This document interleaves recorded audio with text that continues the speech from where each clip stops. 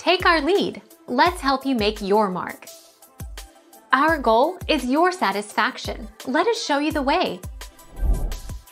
Master carver Gutzon Borglum created Mount Rushmore to commemorate America's first 150 years as a free country.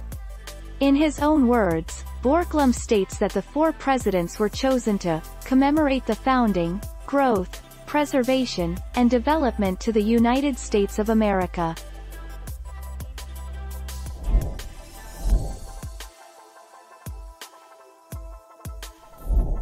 Make your mark. Take our lead.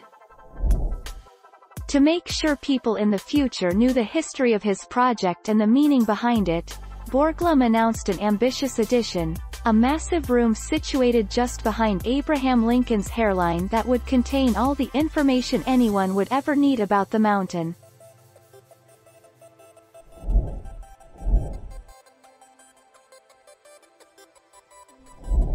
Take our lead. Let's help you make your mark. A little-known chamber concealed behind the head of Abraham Lincoln was intended to contain a shrine to America. Mount Rushmore's carving began with conceptual drawing of Borglum's idea for the never-built entablature inserted. Thank you for watching. Please subscribe and hit the bell notification.